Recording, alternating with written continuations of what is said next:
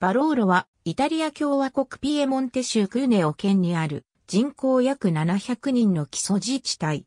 この地域の特産品であるバローロは最高級のイタリアワインの一つである。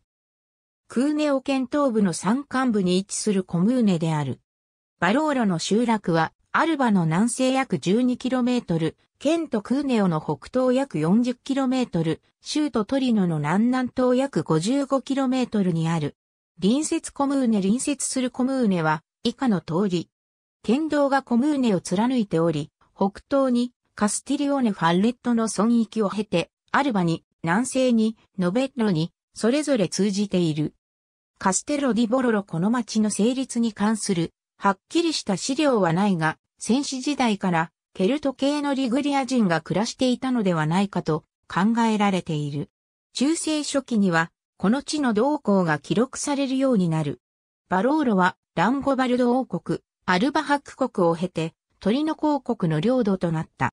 バローロ城の中心部が築かれたのも、この時期である。1250年には、有力な銀行家一族であるファッレッティ家の人々が、アルバからバローロに居を移した。1300年頃には、ピエモンテ地方の50ほどの町を勢力下に置いた。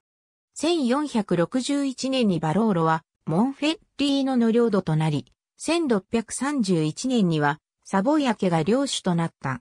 1730年、バローロは公爵領となった。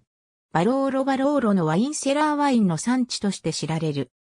バローロを名乗るワインは、イタリアのワイン法で、品質保証付きの高級ワインを示す Denominazione di Origine Controllata e Garantita として、生産地、ブドウ品種から製造法に至るまで厳格に規定されている。人口推移。